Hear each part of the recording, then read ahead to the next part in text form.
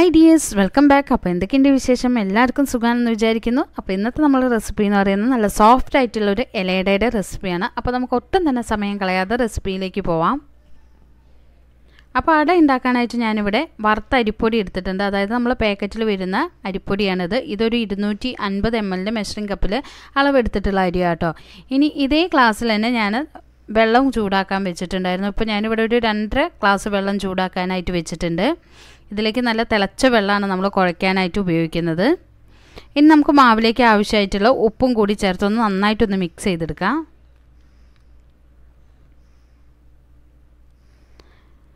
ശരിക്കും ഇതിലേക്ക് രണ്ടര ഗ്ലാസ് വെള്ളത്തിന്റെ ഒന്നും ആവശ്യം വരില്ല. എന്നിരുന്നാലും ഓരോ പൊടിക്കനുസരിച്ച് നമ്മൾക്ക് വെള്ളത്തിന്റെ അളവൊക്കെ മാറ്റം വരുമല്ലോ. അതുകൊണ്ട് നമ്മൾ വെള്ളമൊക്കെ തിളപ്പിക്കുന്ന സമയത്ത് കുറച്ചധികം തന്നെ വെള്ളം തിളപ്പിക്കാനായിട്ട് വെച്ചോളൂ.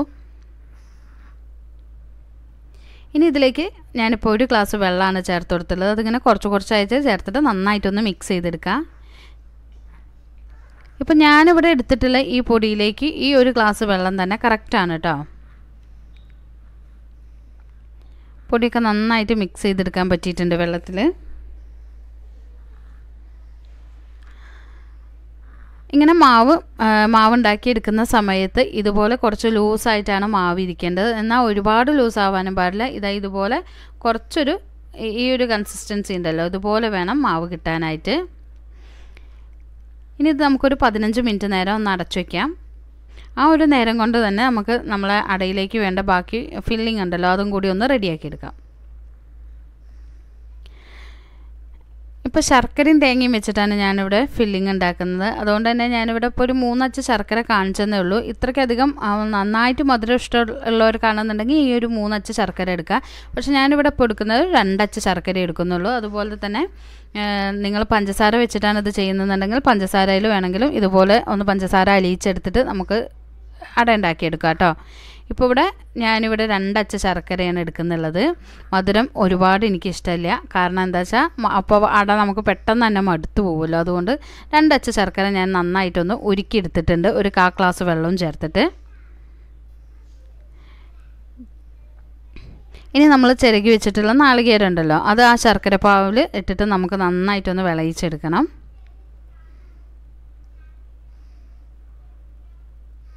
ഇപ്പോൾ ശർക്കര പാവ് കഴിച്ചത് നമുക്കൊന്ന് അരിച്ചെടുക്കാം.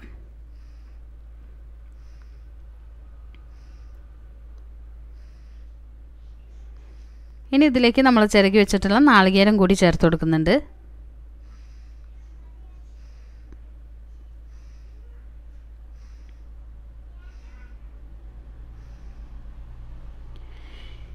ഇനി ശർക്കരപ്പാവിലെ ആ ഒരു വെള്ളം ഉണ്ടല്ലോ ആ വെള്ളം ഒന്ന് വറ്റുന്ന വരെ നമുക്കിത് ഇതുപോലെ ഒന്ന് വിളയിച്ചെടുക്കണം.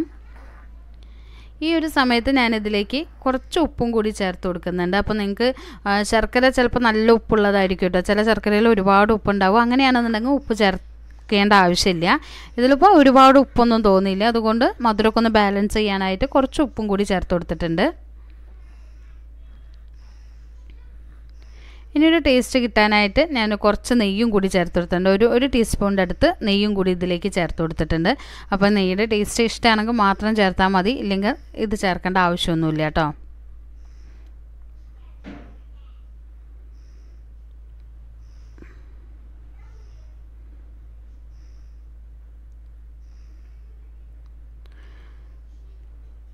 ഇപ്പോൾ അടയിലേക്ക് വേണ്ട നമ്മളെ ഫില്ലിങ് ഇവിടെ റെഡി ആയിട്ടുണ്ട്.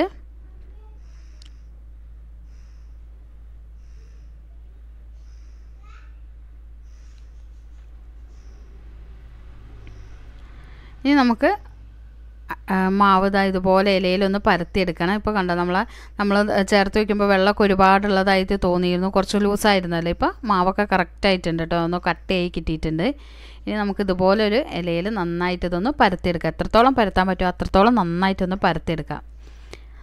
നമ്മൾ ഈ പരത്തുന്നതിനനുസരിച്ച് നമ്മളെ അട നന്നായിട്ട് സോഫ്റ്റ് ആയിട്ട് കിട്ടും. നല്ല നൈസാക്കിയിട്ട് തന്നെ പരത്തി കൊടുക്കുക ഇത് ഒരുപാട് ബുദ്ധിമുട്ടൊന്നുമില്ല. ഇതുപോലെ വിരൽ വെച്ചിട്ട് ജസ്റ്റ് ഒന്നിങ്ങനെ നമ്മളൊന്ന് ചെയ്ത് കൊടുത്താൽ മതി. അടുത്തൊരു പാത്രത്തിൽ കുറച്ച് വെള്ളം വെച്ചിട്ട് ഇടയ്ക്കൊന്ന് കൈ അതിലൊന്ന് നനച്ചു കൊടുക്കുക. അതിന് ശേഷം ഇതുപോലെ ഒന്ന് പരത്തിയെടുക്കുക.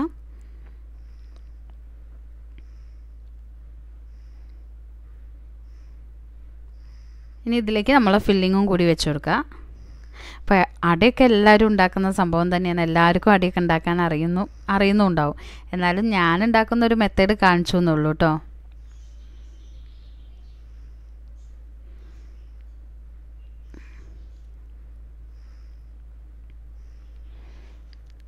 ഇതുപോലെ തന്നെ നമുക്ക് ബാക്കി എല്ലാടെയും പരത്തിയെടുക്കാം.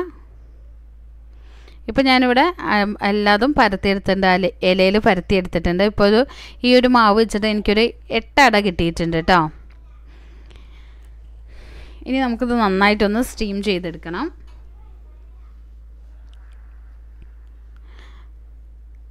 ഞാനിവിടെ ഇതാ ഒരു ഇട്ടിൽത്തട്ടിൽ വെള്ളമൊക്കെ വെച്ചിട്ട് നന്നായിട്ട് ചൂടാക്കാൻ വെച്ചിട്ടുണ്ടായിരുന്നു. അപ്പോൾ കണ്ടില്ലേ നന്നായിട്ട് ആവി വരുന്നുണ്ട്.